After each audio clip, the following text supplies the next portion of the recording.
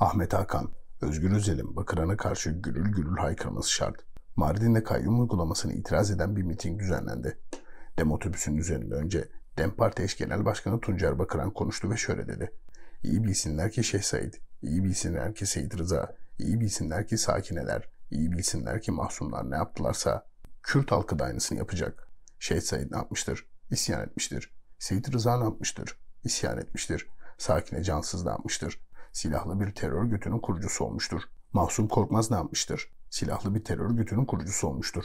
Tuncer Bakıran, kayyum uygulamalarına karşı bunların yaptıklarının yapılacağını söyleyerek açıkça silahla ayaklanma çağrısına kalkıştı. Haksızlık yapmayalım. Bu sözler söylenirken CHP Genel Başkanı Özgür Özel o otobüsün üstünde değildi. Yani Özel'in yanı başında söylenmedi bu sözler. Ancak bir süre sonra bu sözlerin söylendiği otobüsün üstüne çıktı Özgür Özel ve orada bir konuşma yaptı. O konuşmasında Bakıran'ın sözlerine bir cevap vermedi. Özgür Özel dün bu konuyla ilgili sorulara yanıt verdi. Yanıtını dinledim. Tuncer Bey'in söyledikleriyle mutabık değilim dedi Özel. Fazlasını da söylemedi. CHP marjinal bir parti değil, ülkenin kurucu partisi. Böyle bir partinin Şeyh Said gibi ayaklanırız diyen birine vereceği cevap mutabık değilim demek mi olmalıydı? Yok bir de mutabık olsaydınız. Gürül gürül bir haykırış bekleniyordu Özgür Özel'den. Atatürk dönemini de kapsayan bu sorumsuz beyana karşı tarihsel olarak güçlü bir itiraz bekleniyordu. Silahlı ayaklanma çağrısına karşı dimdik bir duruş bekleniyordu. Vakti biraz gecikmiş olacak ama yine de bunu telafi edebilir Özgür Özel. Çünkü bu konu CHP gibi bir partinin kolayca geçiştirebileceği bir konu değildir. Tarihsel hafızaymış. CNN Türk'te Tuncer Bakıran'ın sözlerini eleştirmiştik. Neden? Çünkü Bakıran resmen ve alenen silahlı ayaklanma çağrısı olarak yorumlanacak sözler söylüyordu. O sözlerin başka türlü yorumlanması asla mümkün değildi. Dem Genel Merkezi CNN Türk'te yapılan yayına da işaret ederek bu konuyla ilgili bir açıklama yaptı. Dem'in yaptığı savunma şu. Bakır'ın söylediği sözler son derece açık ve nettir. Konuşmada tarihsel bir hafıza işaret edilmektedir. Kürt sorununa ilişkin çözümsüzlük üreten yöntemler eleştirilmektedir. Bu savunma bomboş sözlerle olayı kaynatma çabasından başka bir şey değildir. Tarihsel hafızayı falan işaret etmede Bakıran, tarihteki ayaklanmalar gibi ayaklanırız dedi silahlı terör örgütü kurucularının yolundan gitmekten söz etmenin ise Kürt sorununa ilişkin çözümsüzlük üreten yöntemleri leştirmekle alakası yoktu. Açıklamada Bakıran'ın söylediği sözler son derece açık ve nettir deniyor ya. Bakın işte burası çok doğru. Bakıran'ın silahla ayaklanma çağrısı yaptığı çok açık ve net. Hollywood starlarının mosmor olmalarına dair. Taylor Swift, Jennifer Lopez, George Clooney, Beyoncé, Leonardo DiCaprio, Julia Roberts. Kamala Harris'e tam destek olan ünlülerden sadece birkaçı. Trump'ın ise Elon Musk dışında destekçisi pek yoktu.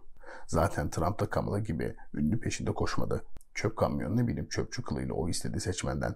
ABD seçimi şunu göstermiştir ki tuzu kuru ünlülerin, politize olmuş şarkıcıların, seçim kampanyalarına katılan film yıldızlarının Trump çok kötü, Kamala çok cici diye açıklama yapan artistlerin seçimlerde pek de etkisi olmuyor.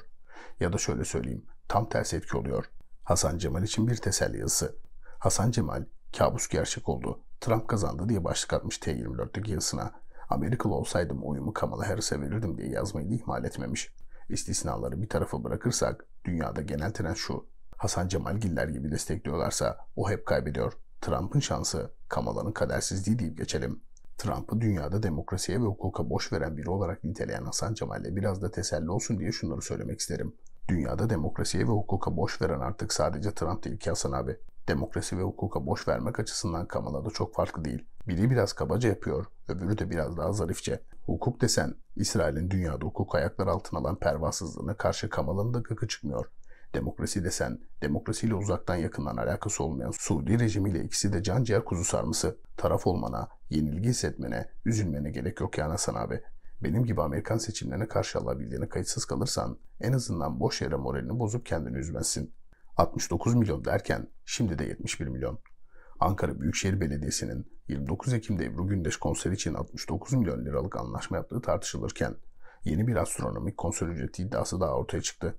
Buna göre Mor ve Ötesi ile 19 Mayıs konseri için 71 milyon 520 bin liralık anlaşma yapılmış. Mansur Yavaş, Ebru Gündeş konseri için inceleme başlattım demişti. Bakalım Mor ve Ötesi konseri için de inceleme başlatacak mı? Şu kadarını söyleyeyim. İnceleme başlatsa da başlatmasa da Osman Gökçe kendisinin peşinde.